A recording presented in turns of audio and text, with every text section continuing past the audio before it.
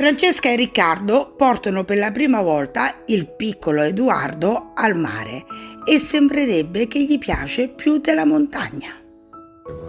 Ciao Edo, sei pronta ad andare in spiaggia? Eh? La spiaggia è da quella parte. Oh, ciao! Ti piace la spiaggia, amore? L'anno prossimo. Sì, è bella, vero? Si sta bene. Eh? Bellissima. Sì, che bello.